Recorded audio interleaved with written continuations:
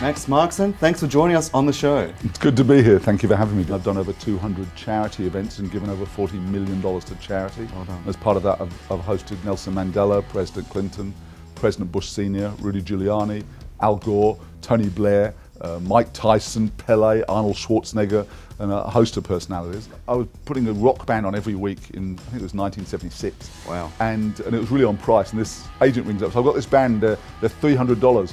Great, I'll take them. What's their name? He says, they're from Australia, they're called ACDC.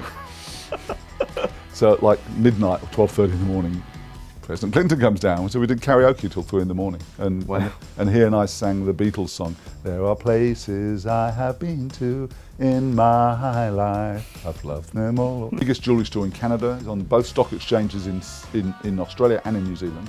And they were giving away a 22 carat diamond ring. And I said, we should get Kim Kardashian to do it. Why not? And They weren't quite certain who Kim Kardashian was, but after a couple of weeks they realised who she was.